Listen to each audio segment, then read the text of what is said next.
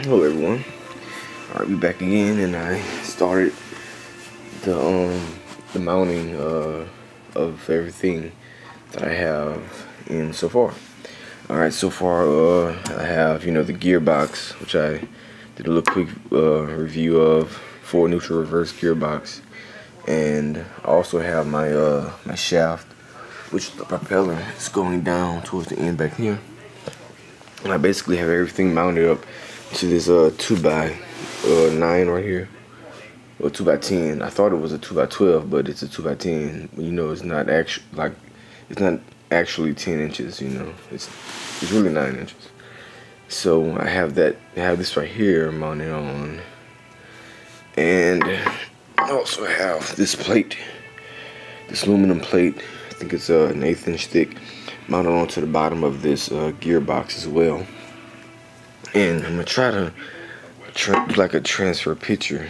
If I could do it, I'll insert the picture right about now to uh, show you which which piece I'm trying to make right here. Yeah.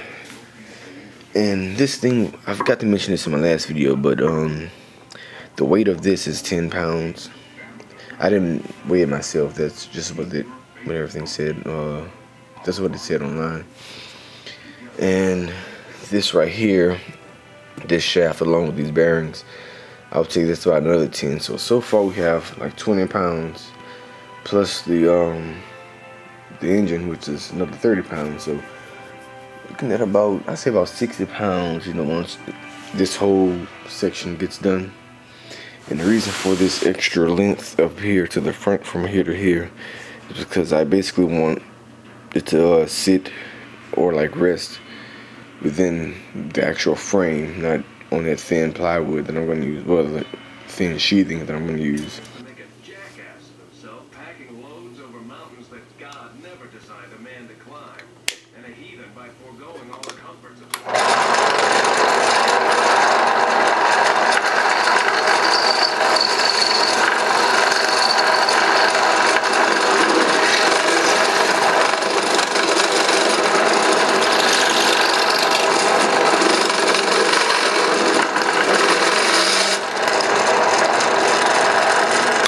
got the first base plate all drilled out. This is the one, once again, that's going to sit on top of the uh, first pillar block bearing. You can see, boy, um, I thought that this was going to go a little bit faster, but but um, drilling through this with the uh, step drill bit. It's real noisy. As you can see, I'm in a freaking apartment and it's like uh, 7 o'clock a.m. Just got off work over the night shift. Anyway, um, these four holes right here are for the, um, uh, what you call it thing, the um, gearbox. And these four right here are for these one foot by five eighths bolts, which basically are going to um, mount it right here. Now the reason why these two holes right here are so close is because, um, like I told you, I got the wrong piece of uh, wood, and I didn't feel like going down the road and getting another one, which is only like three minutes down the road. I didn't feel like going back to Lowe's and grabbing another one, so I just decided to, you know, swing it. But if it doesn't work out, you know, I basically just have to um, re-drill this hole. The other ones are going to be fine, but re-drill well these two holes right here, the big ones, back over here with a new piece of wood.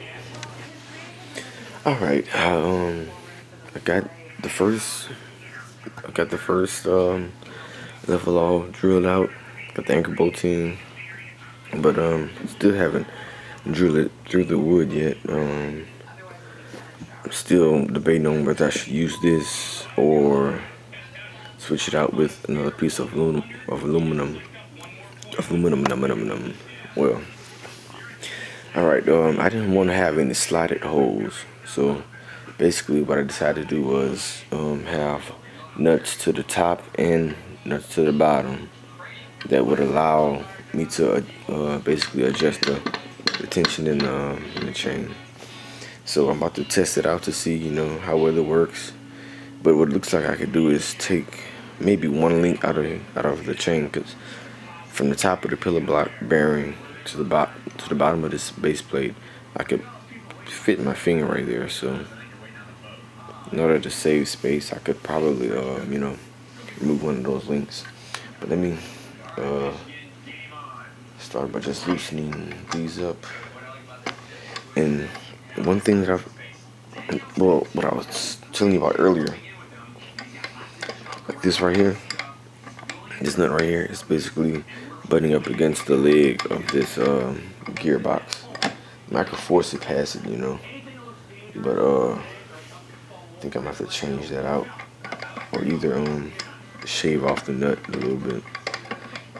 So let me continue to loosen up these top nuts. Like that. This one. Also, might have to substitute these with uh, lock nuts because I put them in earlier. Well, I tied them up earlier. Well, just by hand, not with a wrench or anything. And it came loose like real easy. So and I also have some washers. I don't know if uh, that'll help it lock in as well. Or just might use some uh, Loctite, you know, because I don't plan on, well, once everything gets on the boat and finalized, I don't plan on taking it out unless it's like maintenance or something. So I'm raising the nuts right now. A lot better. Yeah. Raising this side. It seems to be working pretty good, you know. Raise the back side over here. when I go to put this up on the boat or, or to finalize it, you know, I'll of course use this square to make sure that all four uh, bolts are you know, pretty much the same. Just a little quick, you know. Ordeal just to show y'all how this sucker's gonna work. Oh, it would help if I had my bolts in for the um pillar block bearing. So yeah, let me. Alright, got that in. Alright, then I'll of course you lock these down. Like I said, put some Loctite on there or something. So let's see how this bad boy works. Alright, we got her all set up and ready to go for a little test run.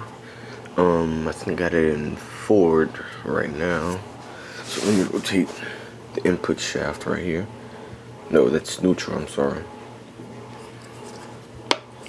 Click over to forward. I thought I clicked over to forward. Yeah, there we go. Click over to forward. And there we go. So far, so good. Everything works, you know.